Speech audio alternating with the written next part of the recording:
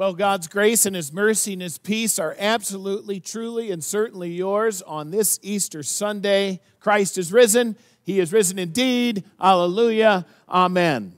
You know, um, you may be in for a little bit of a trouble today because we only have one service and I got all this sermon stuff all packed in. I have to tell you this just yesterday, I eliminated about a quarter of my sermon because I just had all this time on my hands and I just kept adding to it and I had important things to say. So breathe a sigh of relief. Uh, and we're going to look at this Mark passage, this Mark ending if you were paying careful attention, you may have gone, why did they choose that one? And that's what I want to talk about. But I have to start. I have to start with one of my old dumb jokes. And those of you that are members of Grace, you've heard this before. Too bad. There's lots of people watching elsewhere who haven't heard this one before. And so I love this uh, Easter joke where there's the Sunday school teacher that's talking about the Easter uh, stories and has her, has her class of little ones there in the class and says, So, they went to the tomb on that early morning and they went there and uh, the stone was rolled away. Well, what do you think? What do you think that Jesus said when he came out of the tomb on that Easter Sunday? What do you think on that day? And she had got them all worked up so much, the little girl raised her hand. And she said, He said, Ta da! and that that was a wonderful, wonderful culmination of celebration.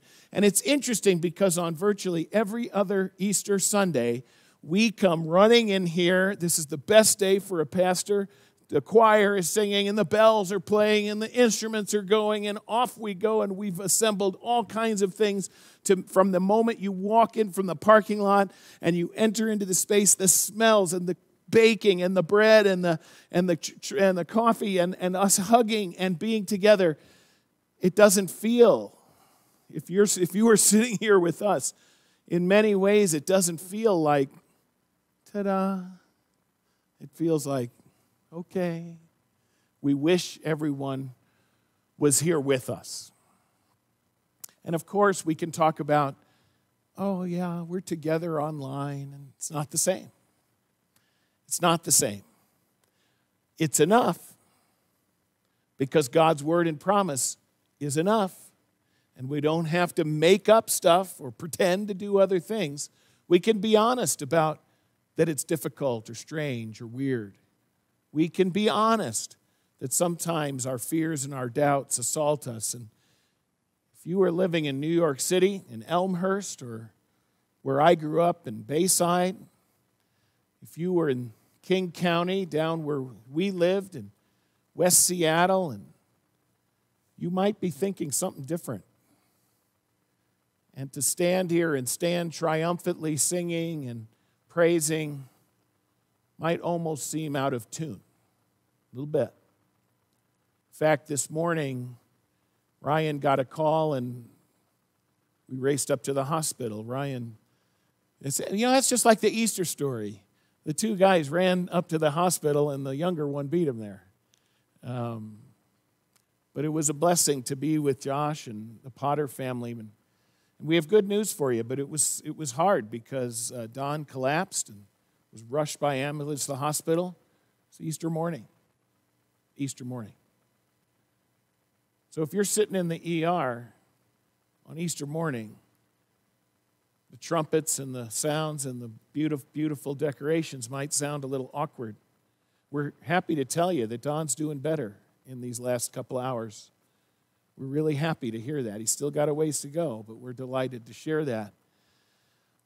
But that's why I wanted to choose this passage. The first part of this sermon is trembling and bewildered. That is the weirdest passage, isn't it? All four gospels give us gospel, give us the account of the resurrection. All four of them, obviously. It's the hugest thing of all. I mean, when you look at the passion accounts from the crucifixion, you know, from Palm Sunday till Easter, it occupies a 30 to 40% of the gospel accounts. It's they if you don't notice that, this is the deal. This is why it's such a huge emphasis and celebration, why we invest so completely in this time.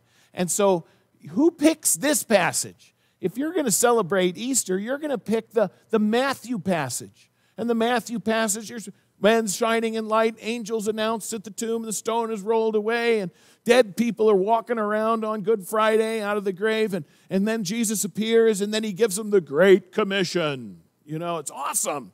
Matthew ends with this Great Commission. And then uh, Luke, Luke has the where they appear to the to the they make the announcement to the disciples and they go in and they see and the women are there they have a conversation jesus appears and and then in luke too then you you, you have this uh, the two disciples walking to emmaus and jesus appears with them and then he disappears and appears to the disciples so luke finishes even with the ascension you have this glorious glorious ending and then john you know, john has the most intimate one where mary has this one-on-one encounter with Jesus in the garden. And we love preaching on that one. And Jesus uh, speaks her name and she recognizes her Savior. It's wonderful, it's intimate, it's tender. And then, of course, Jesus then takes Peter and in later in the gospel and reinstates him, forgives and commissions and restores those, those fallen, broken disciples back into grace and forgiveness. It's wonderful. So, what do we get with Mark? If you have a Bible and you open it up to that passage, the verses we read today is how the gospel, according to St. Mark, ends. Because if you read in your Bible, and I love this about the Christian faith, Christians don't fake it. If we don't know it to be true, we don't say it.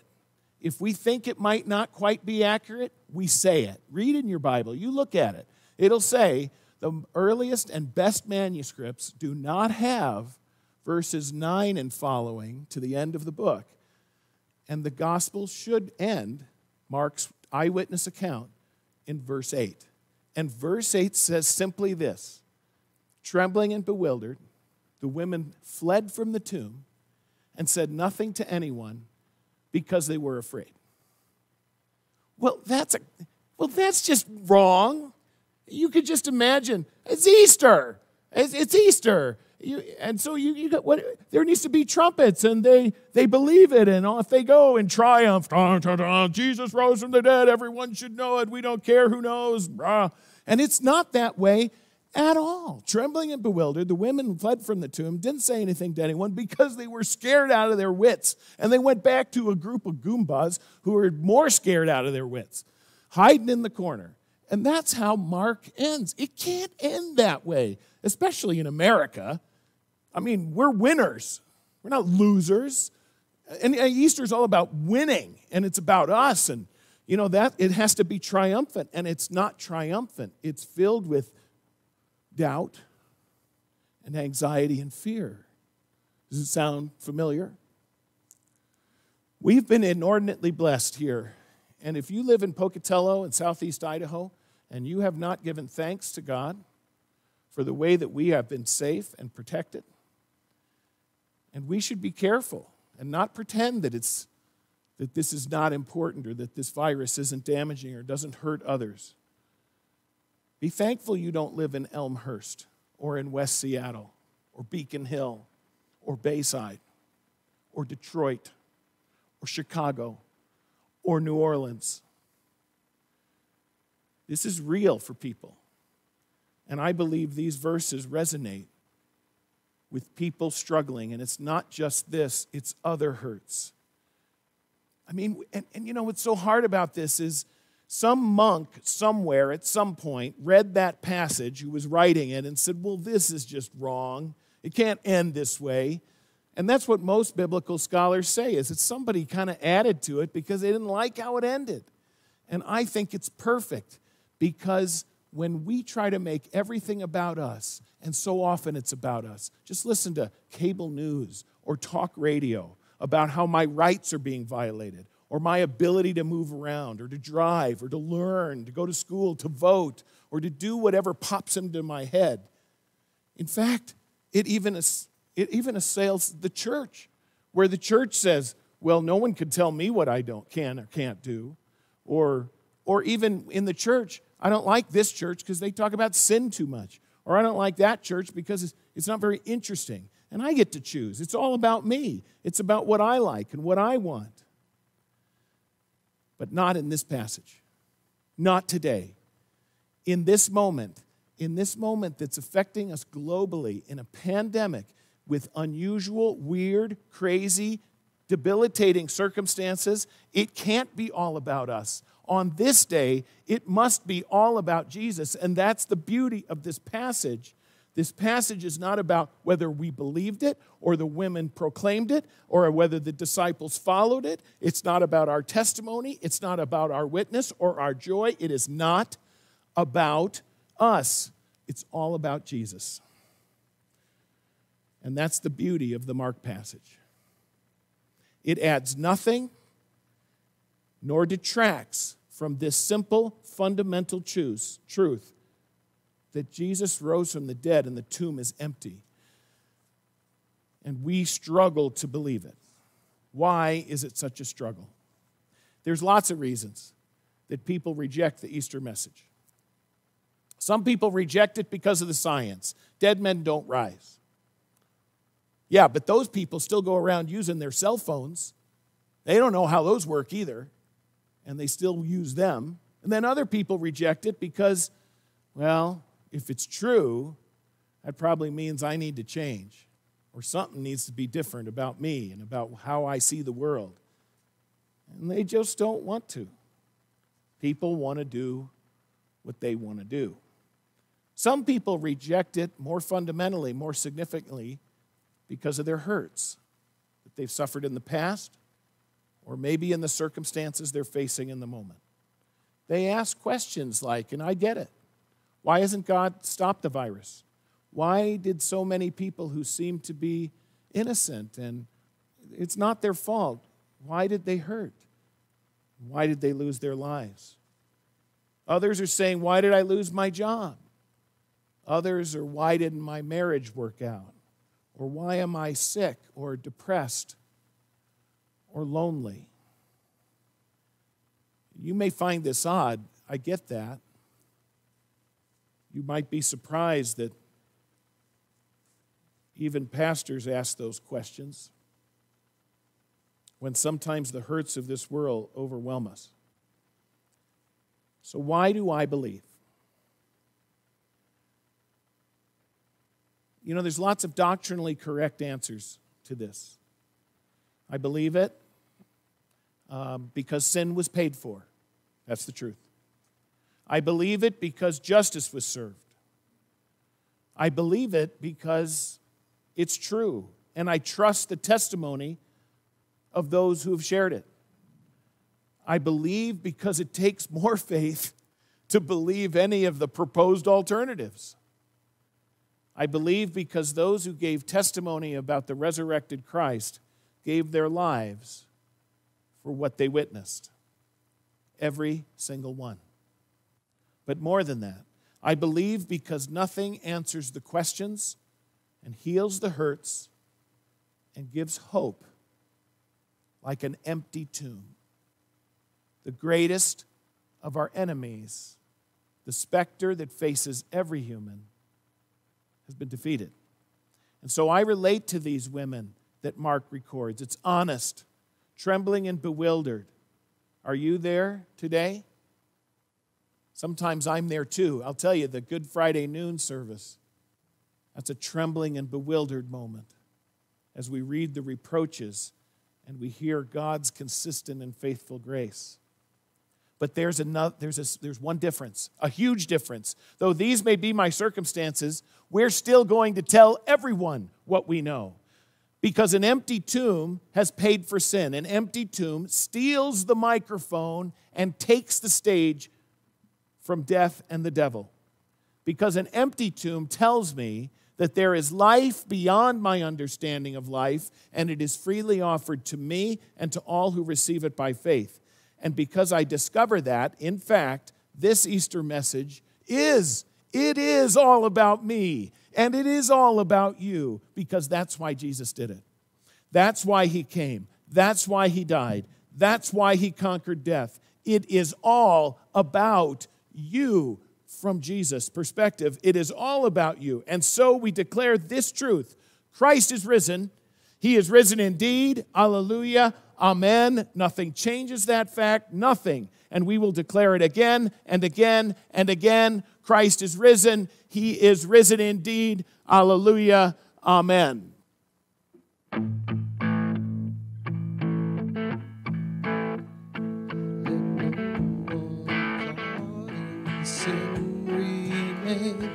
inside the lie of inward shame. We fix our eyes upon the cross and run to Him who showed great love and bled for us. Freely you bled for us. Christ is risen from the dead, trampling over death by death. Come awake, come awake, come and rise up from the grave. Christ is risen from the dead. We are one with him again. Come awake, come awake, come and rise up from the grave.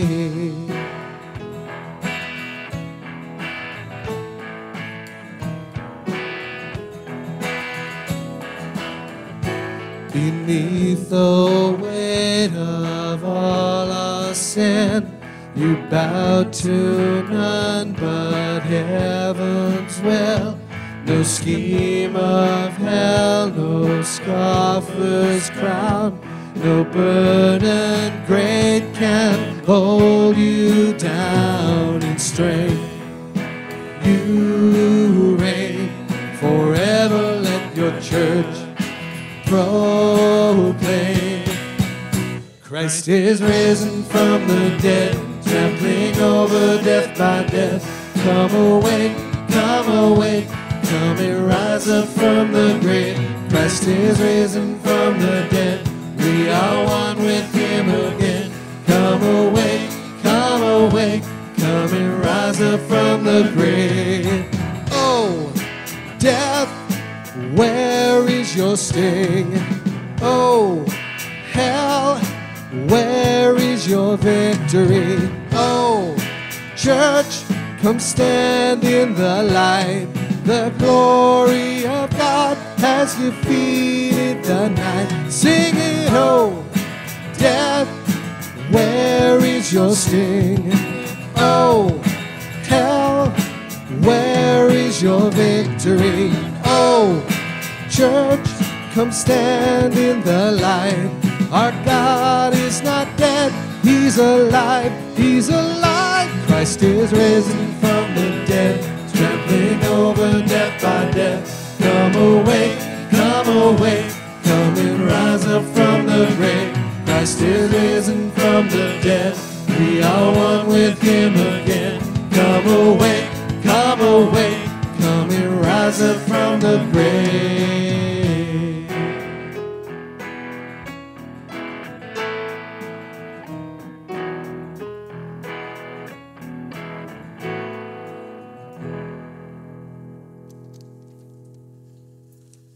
You know, at, at Christmas time, we always make a tremendous point of tying the manger to the cross. Jim preached about that not long ago, in which he gave the illustration in his home where they have a, a big spike of something to remind them of the cross that hangs against the trunk of their Christmas tree, the first thing to go on and probably the last to come off. And it always reminds us of the cross, the cradle to the cross. Well, it's appropriate also for us to jump back to the cradle. One of our favorite ones growing up with the Grinch, how the Grinch stole Christmas. And at the very end, you know this, you can see, you can see this, how the Grinch doesn't steal Easter either. Remember what he said when he kind of came to a realization as he heard them all singing and celebrating Christmas without presents. Without presents. It came without ribbons and it came without tags. It came without packages, boxes, or bags. And then the Grinch thought of something he hadn't before. Maybe Christmas, he thought, doesn't come from a store. Maybe Christmas, perhaps, means a little bit more. And maybe Easter does too. And not maybe, absolutely. More than dresses and bonnets more than eggs, baskets, more than crowds and gatherings and feasts, more than trumpets and bells, and huge numbers of people. Maybe Easter means a little bit more. Christ has risen from the dead, trampling over death by death, trampling over our fears, despite quarantines, despite exhaustion or boredom, despite social distancing or lost jobs, or even a rising death total. Without flattening a curve or finding a vaccine, it came. Easter's come and will always come, despite us, but always for you, for us all. And so Jesus Christ is the one who gets to drop the mic. Death does not get the last word. And so we have another song we want to show for you and another set of images because, in the end, that Christ lives means we live too. Because he lives, there's, a, there's something that happens because of that simply to declare that he lives, simply to see an open tomb, the women still left trembling and bewildered. And yet, because he lives, the world has been transformed. Because he lives, one out of every three human beings on the planet today confess and claim Jesus Christ as Lord and Savior. Because he lives, we are different. Because he lives, we are a family together. And so we are gathering together without being together. And what we're going to show you next through the words of this song and the images that you see is how we live as the family of God because He lives. Christ is risen. He is risen indeed. Alleluia. Amen.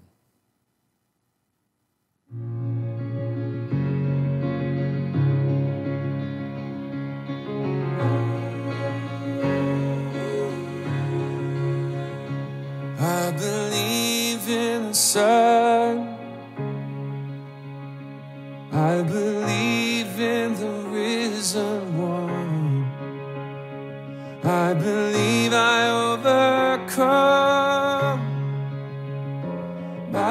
Power of his blood.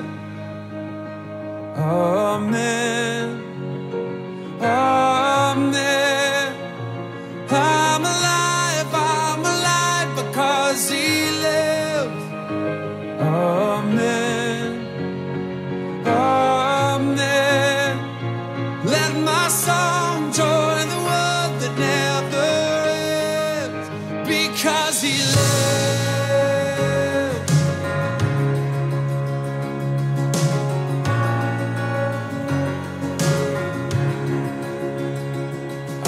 Was dead in the grave. I was covered in sin and shame. I heard mercy call my name. He rolled the sun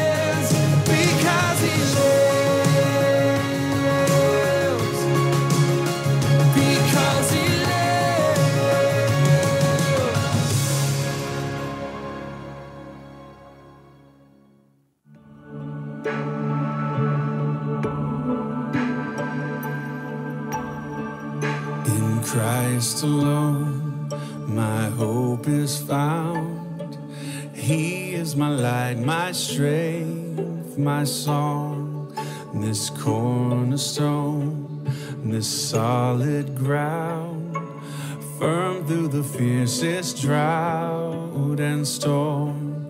What heights of love, what depths of peace, when fears are still when striving cease, my comforter, my all in all. Here love of Christ I stand.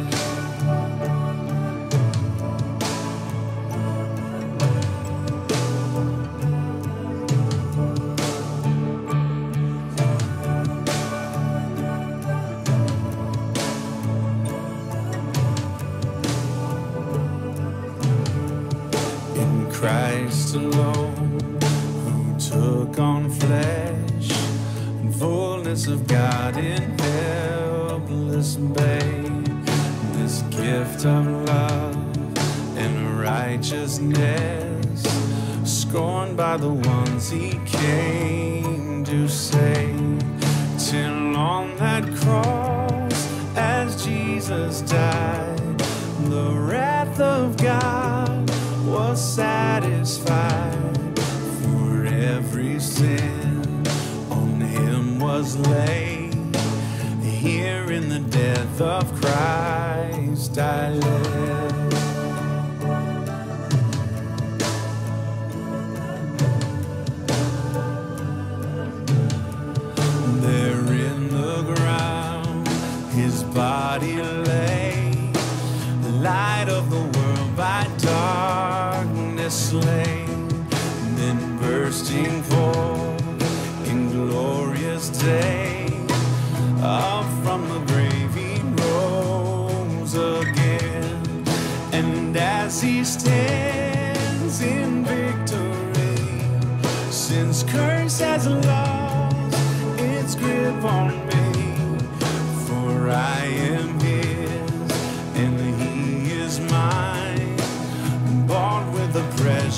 blood of Christ.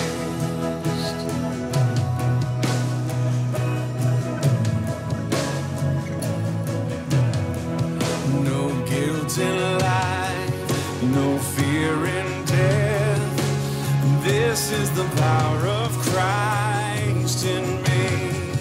From life's first cry to final breath, Jesus commands my destiny. No power of hell, no scheme